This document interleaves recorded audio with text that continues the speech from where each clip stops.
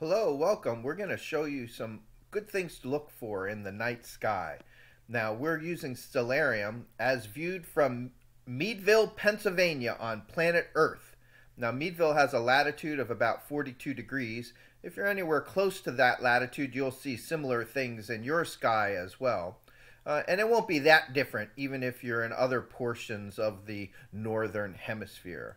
Now, right now, the sun is up high in the sky it's the current time, April 16th in 2020, three uh, hours after noon, and so three hours and seven minutes uh, in the PM, in the post meridian. And there's the sun towards the southwest. And as time goes on, we'll see that it goes down, of course, closer and closer and closer to the horizon. Now, the sun is going to set just a little northward of west. And that's because we are in springtime now. It sets exactly to the west on the first day of spring. And with each day that uh, progresses in spring, the sun sets more and more northward of west, reaching the furthest north of west on the first day of summer, and then it starts to come back down again.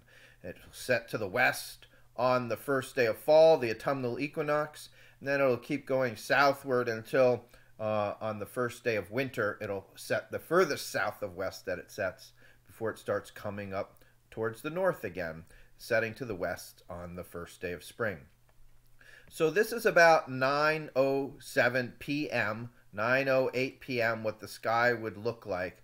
Um, notice that we can still see the constellations of the winter hexagon. Even though it's now springtime, we get a little glimpse of them as long as we can see the western horizon. So this is what you can look for. This year in 2020, Venus will be in the Taurus, the bull constellation. Here's what the bull looks like with a little bit of artwork. Um, there's the horns of the bull. There's Aldebaran, the eye of the bull. It'll have this red color. It's a red giant star in the Hyades star cluster. You see this V-shaped pattern of stars? That's what you'll want to look for for the face of the bull. And then in the back of the bull, you see the seven sisters. That's also known as the Pleiades. And we could zoom in on it. It's beautiful to look at with binoculars if you own a pair. And you'll see hundreds of stars there packed together in this open cluster of stars. Under a telescope, um, you'll see, and even with binoculars, you'll see that it has this fuzziness. It's a nebula, this nebula is the gas out of which those stars formed. And now the stars are shining into that nebula and are illuminating it. The blue light scatters more than other colors of the rainbow, which is why this nebula has this bluish hue associated with it. It's a reflection nebula embedded there in the Pleiades star cluster. Now, the Pleiades is a little more than 400 light years away from us. So, what that means is that when you see light coming from those stars, that light's been traveling for the last 400 years to reach you here on planet Earth. The Hyades star cluster is a bit closer, it's around 150 light years away. And uh, these two star clusters, the Pleiades and the Hyades, they're very similar to one another. The big difference is their distance. And because the Pleiades is uh, two or three times further away, it is two or three times smaller um, in each direction on the sky. So, yeah, there's Taurus the Bull, and Aldebaran is going to be one of the vertices of the winter hexagon. That's something that you can look for in the winter. I'll trace out the hexagon for you, starting with Aldebaran. One side, two, three, four, five, six. Six sides, that's a hexagon. Now, down towards the horizon here, between the southwest and the west, we have Rigel. That is in the foot of Orion the Hunter. There you can see Betelgeuse in the shoulder of Orion, the belt of Orion. And if you zoom in on this region right below the belt, that is the Messier object number 42, that is the Orion Nebula. It's a star forming region. It's about 1,500 light years away from us, with a lot of newly formed stars in that vicinity. In fact, that M42 is part of a larger giant molecular cloud complex that extends throughout a large portion of the um, Orion constellation. So um, there you go. Orion the Hunter, you can think of him as holding on to a shield, defending himself from Taurus the Bull. And maybe here's his arm coming up this way, holding on to a club. But this is the shoulder of Orion, the other shoulder, his belt, and his two feet down here. Now, Orion's trusty helper is the big dog, Canis Major. A little bit to the left, that is to the east here um, or more south here than um, Orion. And the big dog has the brightest star in the night sky, Sirius. Here's the head of the dog right there. There's the front leg of the dog. There's the body of the dog, the back leg of the dog. Here's the tail of the dog. That's the big dog, Canis Major. Now, uh, Rigel and Aldebaran and Sirius, they're the bottom portion of that winter hexagon. Let's start to look higher in the sky so we can see the top portion as well. Working our way around, we next have Procyon. Procyon is, is, Procyon is not in the big dog, it is in the little dog. And unless you have really dark skies, you'll probably only see Procyon. You might see that second star as well. Um, now, Procyon, part of the little dog, is near Pollux, the next vertex of the winter hexagon. And truth be told, I usually think about Pollux and its partner star, Castor, as being the vertex together. They share one corner of the winter hexagon. Now, Pollux and Castor are the names of those stars. They're also the names of the twins that the that, that they are within. The constellation they are within is, do you know? It's Gemini the twins. And Gemini is actually a constellation uh, that is a sign of the zodiac, a zodiacal constellation. Of course, we don't believe in astrology. It has no predictive power, etc. But the traditional signs of the zodiac that some uh, of you know, just for fun, I hope, as entertainment from um, from astrology, are the constellations that the sun passes in front of over the course of the year. Now, the ecliptic is what I'm showing you here, this line that's going across the sky. As the Earth orbits around the sun, it, it, the sun, will be in front of a different set of background stars. And so in, um, let's see, in the fifth month of the year, May, the sun will be in front of Taurus the bull. And then as we get into June and July, the sun will be in front of Gemini, the twins, and so on and so forth, due to that Earth's orbit. And so any of these constellations like Taurus, the bull, and Gemini, the twins, that the sun passes in front of, those are constellations uh, um, that are called zodiacal constellations. So, okay, we can zoom in and we can see Pollux, the head of the brother Pollux and Castor, the head of the brother Castor, and their bodies come down this way. Now, it's kind of neat how this works. The next star in the vertex of the winter hexagon is Capella.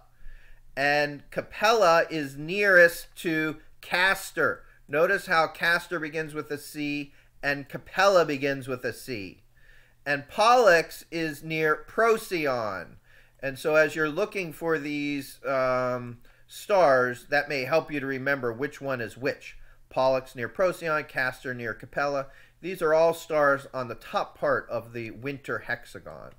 So there's the top part of the winter hexagon, and down here is the bottom part.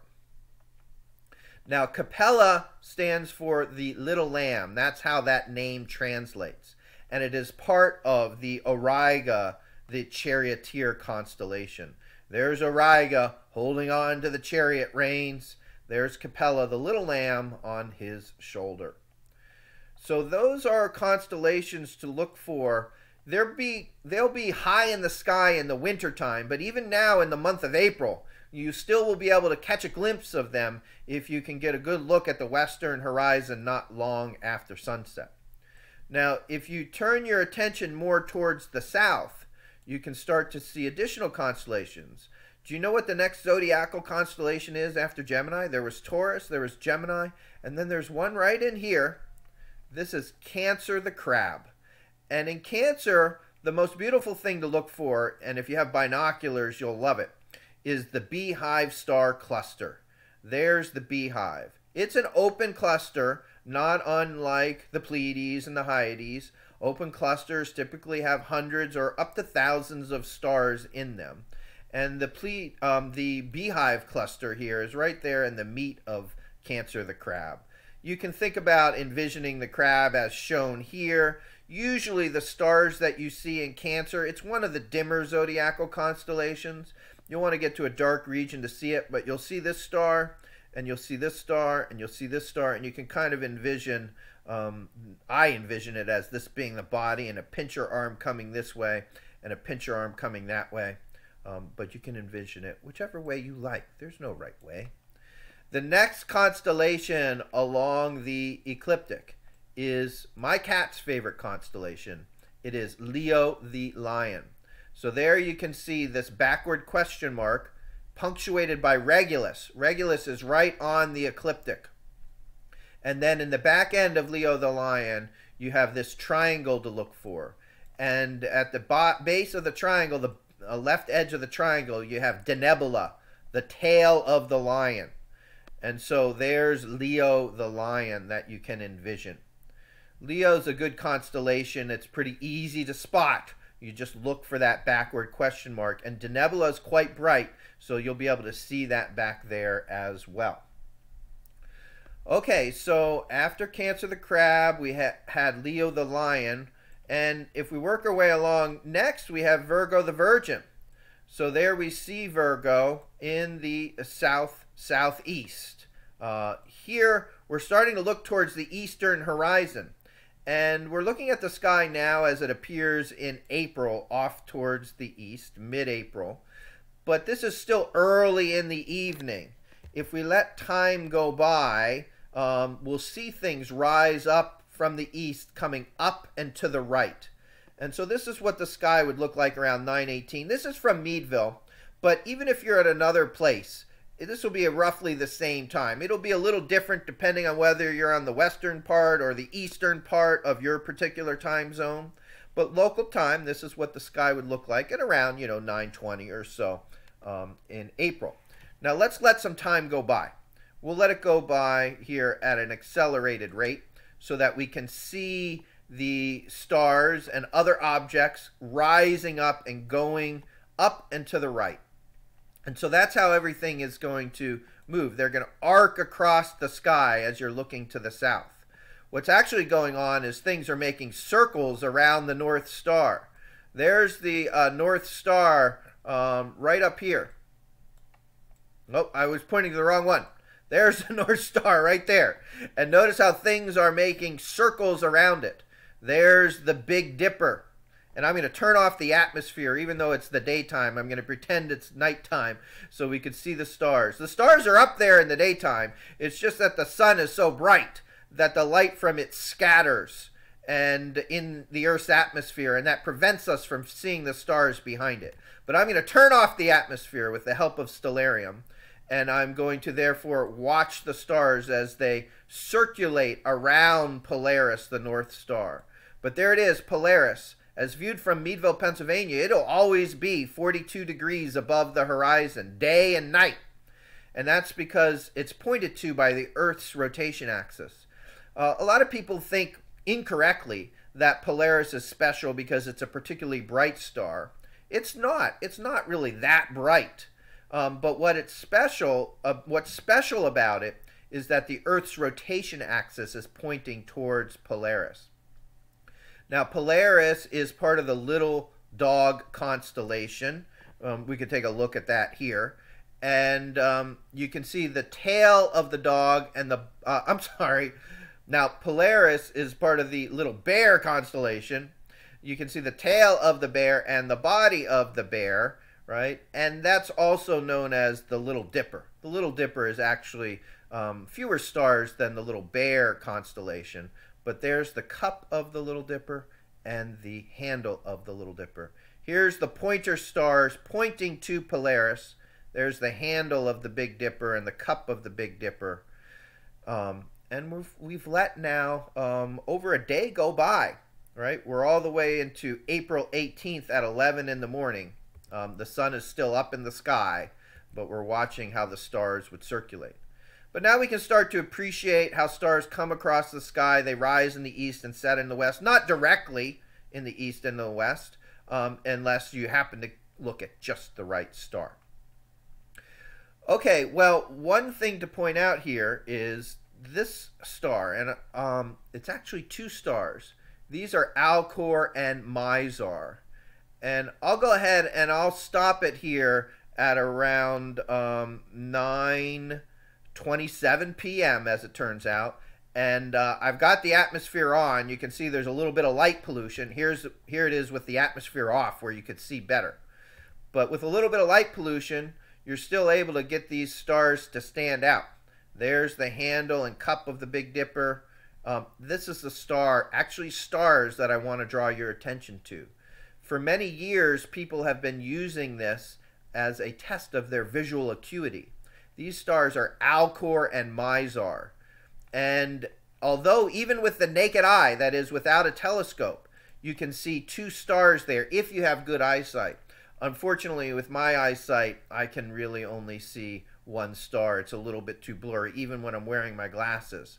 But as you zoom in more and more, you find that there's more than two stars there. Here, for example, let's really zoom in on Mizar. And there you can see, whoa, under a telescopic view, and I'll have to pause it here because otherwise it'll drift off our field of view. Um, under a telescopic field of view, you can see there are multiple stars. Altogether, there are six stars in the Alcor Mizar system. Alcor and Mizar are just very loosely bound and, and, orbiting around one another with a great distance between them. And then the other stars that make up each of them are more closely um, coupled to one another in this beautiful gravitational dance. So, um, okay, uh, remember that it is around 9.30 at night, and uh, we see Arcturus on the horizon. We see Spica which is in the Virgo, the Virgin constellation. Uh, and why don't we get back to talking about that a bit? One of the things you can do is you can find the handle of the Big Dipper and you arc to Arcturus, and then you're going to spike down to Spica. Spica is in the Virgo, the Virgin constellation. Now, I'm going to let a little more time go by so that um, these things get higher in the sky. And so let's go ahead and do that we'll get this playing again. And so I've let enough time go by that now Arcturus and Spica are to the south. It's around 2.15 in the morning. And let's go ahead and zoom in on the Spica star, which is part of the constellation Virgo the Virgin.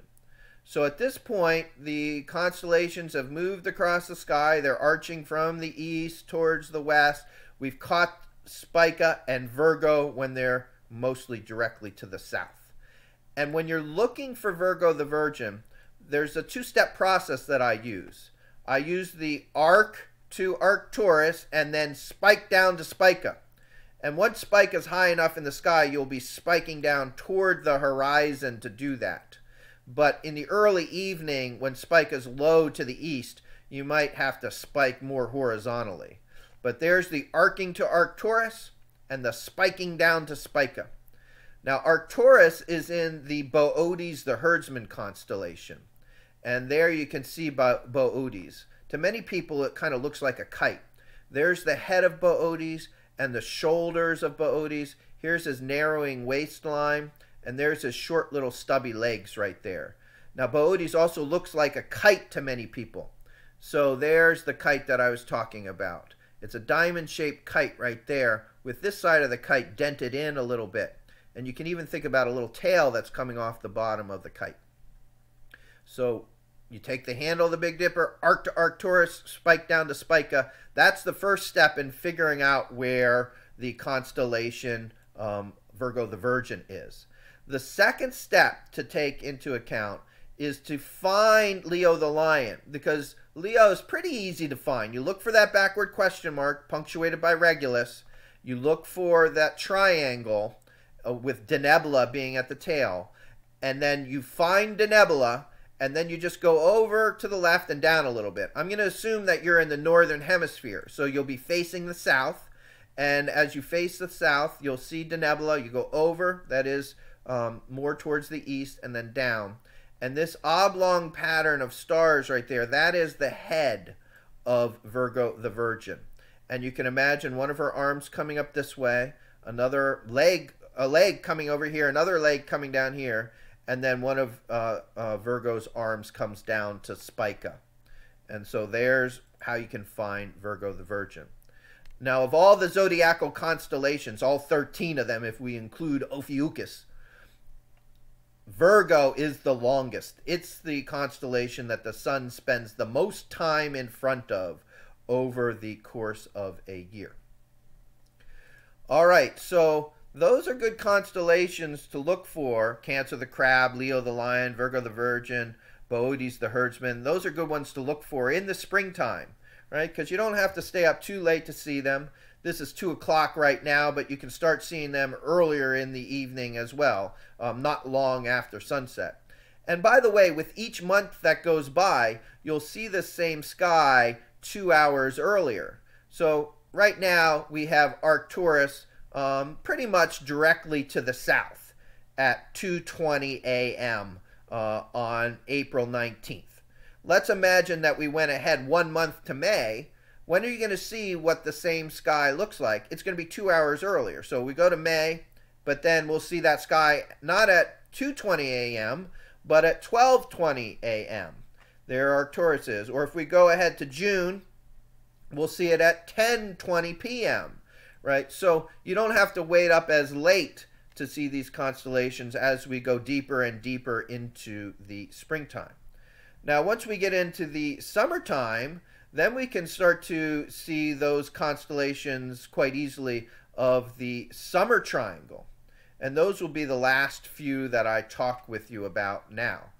And so we have it here in a summertime, July of 2020 but it will of course look other than positions of planets and so on it'll look the same even in other years 2021 2022 jupiter and saturn will have moved on their orbits and so it won't in other years uh, be they won't in other years be located at those same positions with respect to the background stars but the stars will be in the same place given how far away they are their proper motions are so slow you wouldn't be able to tell the difference from one year to the next but these are the stars of the summer triangle Vega and Altair and Deneb. Vega is part of the Lyra the Harp constellation.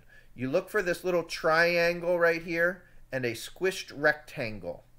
And at the bottom of the squished rectangle, if you can get a small telescope, you can look and you can look for the ring nebula, which is in between the two stars there. There it is. Let's zoom in on it. The Ring Nebula is a planetary nebula. A planetary nebula is what happens when a low or intermediate mass star dies, something less than eight times the mass of the sun. In its final days, uh, it will eject this planetary nebula. The gas from that will ex be expelled outward, and this planetary nebula will be visible, or would be visible if you could live that long, for tens of thousands of years as the gas spreads out over these large light year times, uh, uh, light year distance scales. At the center of the planetary nebula, what's left behind is the core of that star that died, a white dwarf. You'll have white dwarfs at the center of planetary nebulae. White dwarfs typically have roughly the mass of the sun, and they are about the size of the Earth. So that's something fun to know about the Lyra the Harp constellation right? So we'll take a look at Lyra the Harp. There's the artwork for it. Vega is that nice bright star in Lyra the Harp. Now, if you go on to Altair, you know what constellation that's in? That's in Aquila the Eagle. There's the eagle, and when you're looking for it, what you want to do is look for this egg-shaped pattern of stars. And then some of these other stars are the tail feathers and other wings and so forth of Aquila the eagle. But Altair will be one of these stars in this egg-shaped pattern. And then finally, we have Deneb, the tail of the swan. Remember, Denebola was the tail of the lion. Deneb is the tail of the swan. This is Albireo over here. That's the head of the swan. And the swan is flying right along the Milky Way galaxy. And so you'll see, if you're in a dark enough region, this dim band of light across the sky. And if you aren't sure, what you could do is you could look for Cygnus the Swan, and that'll help you to identify that band of light. It looks like this wispy little cloud if you're lucky enough to be in a dark enough region to see it. And uh, that is the Milky Way galaxy, the collective light of billions of stars in our arm of the Milky Way is what you're seeing there. You can see when I zoom in on the Milky Way, there's just lots and lots of stars. That's what that glow is, the collective light of all those stars. It turns out that roughly halfway between Deneb and Albireo, um, there's um, a black hole, Cygnus X1. The X in Cygnus X1 stands for X-ray. It is an X-ray source. That 20 solar mass black hole is accreting matter from a companion. That mass falls down onto an accretion disk, which is very hot, and that's why it emits in the X-ray. And by analyzing those X-rays, we can tell that there's a black hole there that the accretion disk is orbiting around, a black hole with a mass 20 times the mass of our sun. All right, so that is all that we're going to show you here today. Uh, I hope you enjoyed the tour of the night sky, and uh, stay safe and take care.